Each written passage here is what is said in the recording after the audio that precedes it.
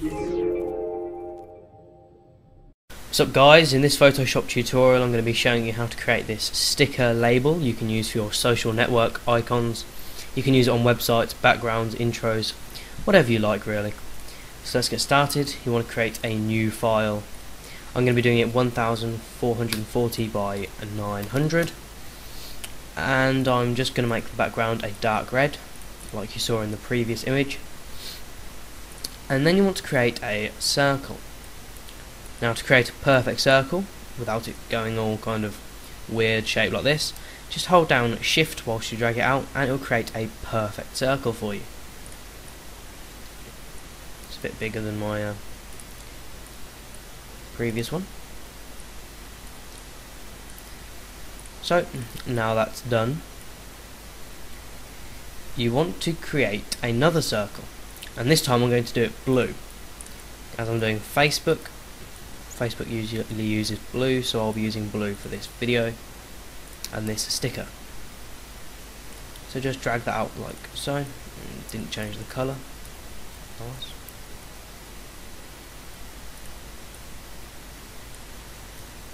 Right. Change it there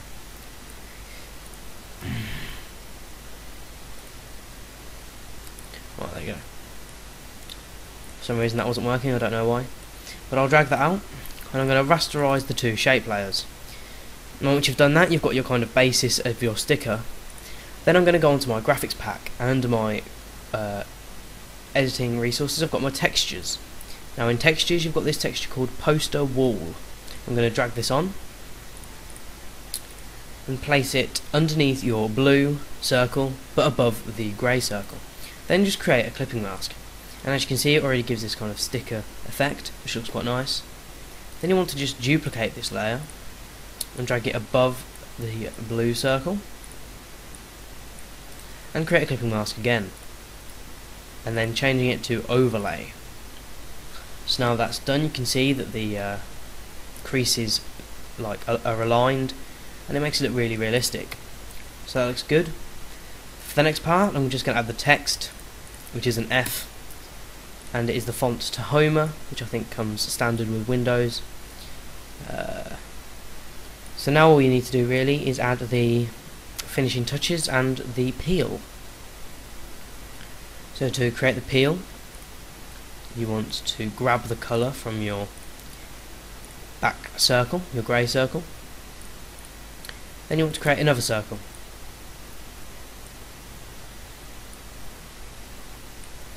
Like that. Now all you need of this circle is this tiny bit here. So you want to rasterize this layer. And if you hold down control and click on your bottom circle, which is the grey circle, when that's selected just click on right click just right click and select inverse or go to select and select inverse and whilst that's selected just press Control and X and it should delete it like that and all you're left with is this little crease. This little kind of peely long ovally shape. Once that's done you want to do the same thing with the poster wall and duplicate that and drag it above like that and click on normal so make sure the blending option is normal so it's the same colour as your outer grey circle. If it's not when you come to making it, just feel free to go through all the different blending options until you find the right colour. Luminosity works the same as normal.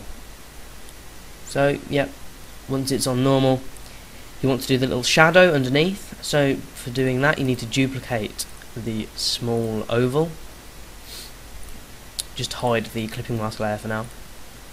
Don't be too worried when you get presented with this, just hide the texture. Then drag this out and get rid of this top hemisphere there. And then you're left with this shape again. Then you want to double click and click on uh, color overlay and then change the color to black. Now once you've done that you need to go to filter you need to go to filter blur and Gaussian blur. And just do it enough so it looks like a realistic shadow. I think that should probably be enough. Then just drag it like that over the top. And then on your layers drag the copy underneath the original shape. So you get this nice shadow going across here. Now you've done that reactivate your poster wall texture and clip on create clipping mask again. Now just to smooth out this uh, this shadow use your eraser tool just to go around it like that. Now the final touch to this well the penultimate touch if you like is just to by using your let me just let me just tell you the uh, tool I'm using the polygonal lasso tool just do a, diagonal line across your sticker like this. Doesn't matter how you reconnect it as long as you've got this straight line here. And just delete and cut out that shape. Click on select reselect then go on your blue circle cut that as well. Select reselect and your back grey so there you go you've got your peeling sticker like that which looks really nice to add the final touch just add a drop shadow to your sticker it looks really nice when you do that